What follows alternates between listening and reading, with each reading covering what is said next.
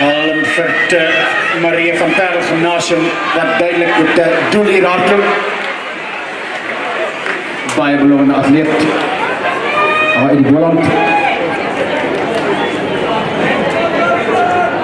Kom ons kyk of hy die dim lig hier kan hanteer in die laaste 100 meter.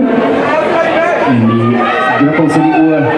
Ja, en sy byne aan die man van Affies, Marcus Klopper bietjie nou swaar kry, maar ook Marcus die gaan weer kom, kom die band nou in band 4.